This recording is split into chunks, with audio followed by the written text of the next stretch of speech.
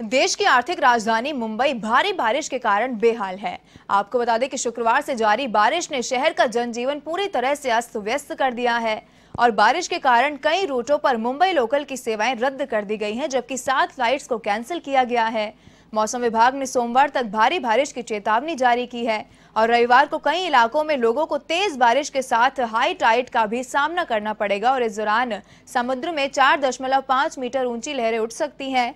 आपको बता दें कि लोगों को सलाह दी गई है कि वे घर से निकलने से बचें।